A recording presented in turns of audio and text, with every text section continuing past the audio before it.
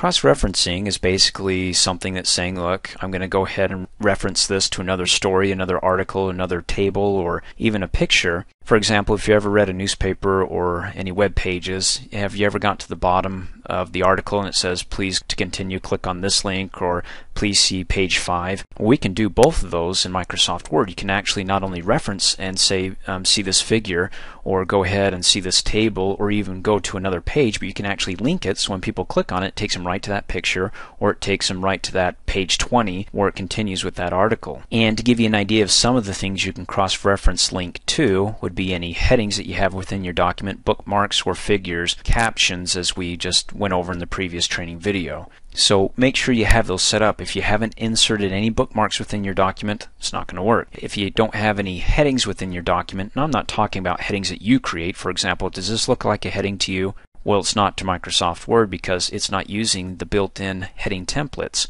See, if I go ahead and select this, the built-in template, when I click on it, says that that's now, according to Microsoft, a real heading because I'm using their styles and not my own. So if I hit undo and I start using my styles, saying, well, let's see, you're going to be um, Cambria and you're going to be size 16, well, that's a heading. Well, if you look in your styles, if you don't have any styles selected by Microsoft, then it's not going to see as a heading and you can't cross-reference to it. Simple as that. And you want to be able to watch the training video on styles to see how that operates here. But I'm going to go ahead and undo this.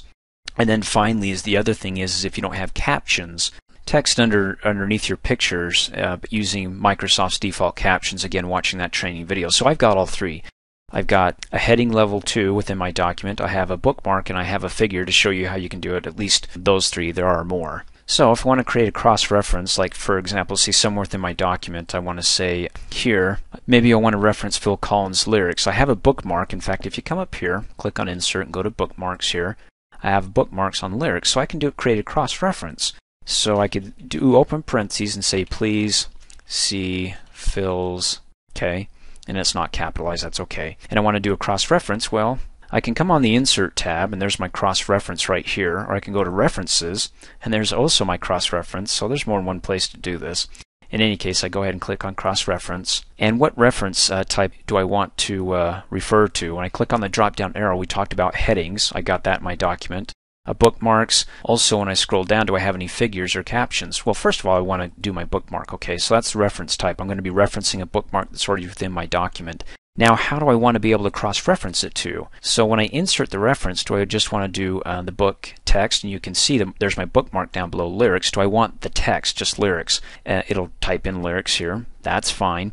Uh, but when I click on it, it'll actually link me and pull me right to that bookmark. Or I can change this and say, how about if I just insert a page number, you know, like you see in newspapers where it says, please see page 5. If I insert a page number here, referencing this bookmark, you'll say, please see Phil Collins lyrics, and then I'll click on the number and it'll have a number there. So I click on it, there it is too. Click close, and then I can close that. And then you can see, when I click and drag, you see how it shades that just a little bit extra? Because that can be updated too. So for example, this is now going to page 2, and I can actually uh, see lyrics. I can even type before it, PG2.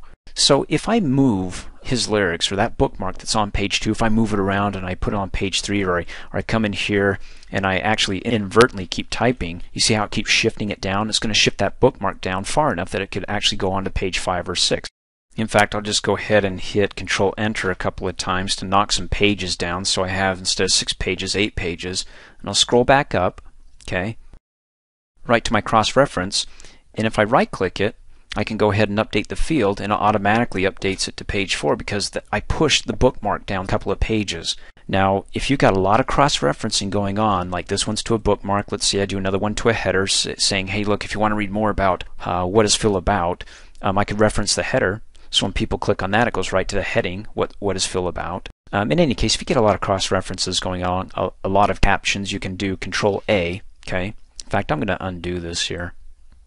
And I'm going to hit Control A to select all the cross-references within my document any captions, this will also work. In fact, it'll also work on your table of contents because your table of contents, if you want to watch a training video on that, is looking at all the pages and all the headings throughout your document. And you can update all these dynamic codes for page numbers in here if they've been offset, moved to another page. Again, just hit Control A, then hit F9 on your keyboard, and it automatically updates everything within your document, okay? I'm going to hit undo a couple of times because I don't want to insert all those page breaks and you know get it to look a little bit clean again.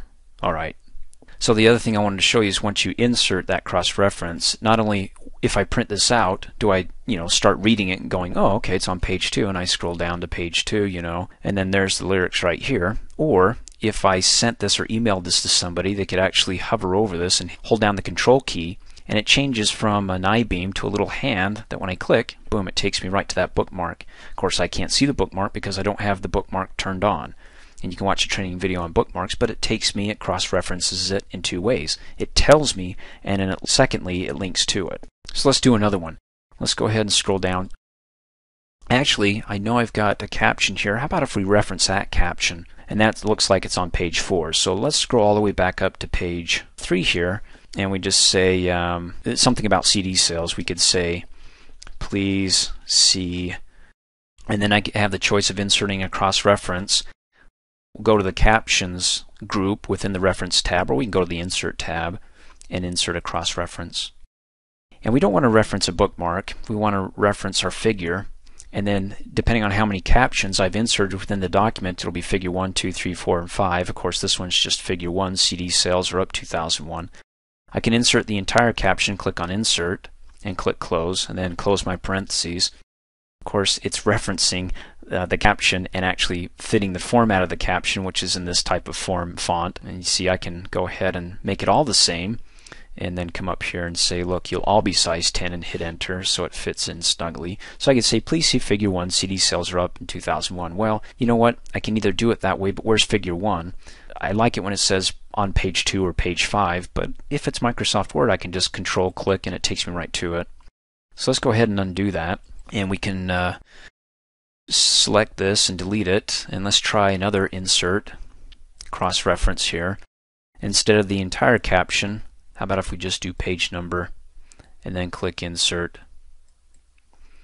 And then we just type it in here.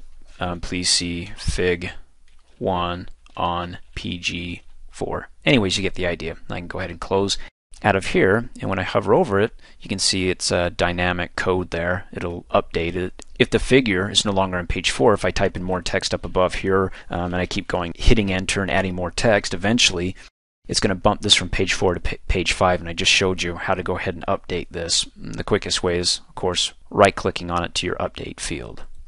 So you see what I'm talking about here? Let me go to the home tab let's see. This is Phil. What heading is he? He's heading 2 because he's heading 2, and I can click on my Browse by Heading button. In fact, if I let's do Control Home, and I can click on the Browse By button, as we learned in, in the caption training video, I can say I want to browse by heading. Automatically takes me to the first heading, and then I can go ahead and click Next if there's any more headings, but there isn't. In any case, let's let's reference that heading here. And that heading is This is Phil, this is what Phil's about. So if it's an article that nobody wants to read what Phil's about, I can just go ahead and say and I can reference that.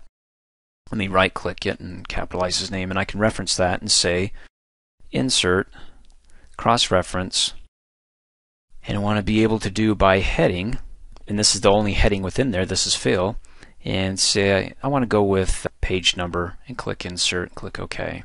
So this is Phil, let's do page 3 and then we'll close it. Now the whole point being again is that if you need to update, if there's any changes within your document, you can dynamically update everything by doing Control A and hitting F9.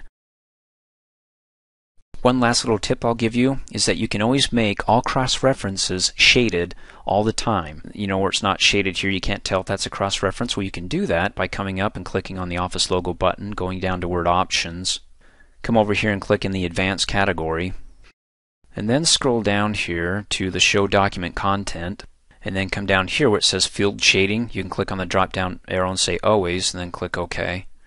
And anybody else, when you send this to them, um, what exactly is a cross-reference, what you're referencing to.